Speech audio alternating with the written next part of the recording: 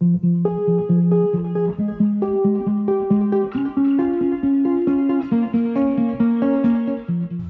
River Tree Church. I am Antonio with Chicasas por Cristo. I'm here with the Palafox family. Thank you for your blessing. Thank you for your home. Let's let's go see how they're doing.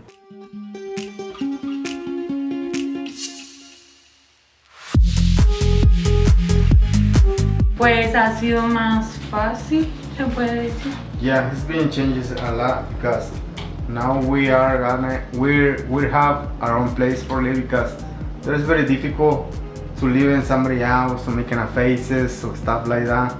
It's a very comfortable.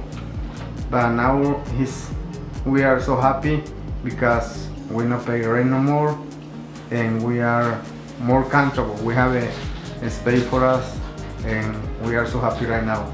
Pues feliz, very happy because this is this is something that comes from Jesus and we are so happy because it's a big blessing and we are so happy.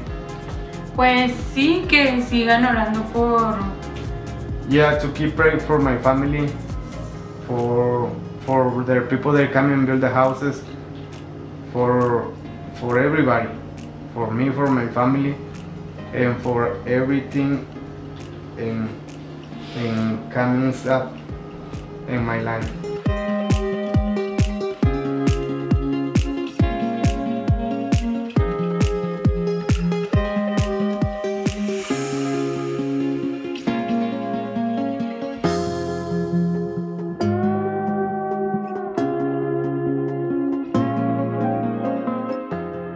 Sí, ellos asisten a mi iglesia y es Yeah, I know Jessica for a long time since she was a little. Before they come to the church, but they stop for a little while. But now she's married and she has his family, and now they come to my church. Her and his husband. bueno, pues ah, Yeah, um, it's very, it's very important this community because a lot of people they want a house, but they're they're they're asking who they're building, but they they help us a lot because a lot of people there they know that there is a casas por Cristo.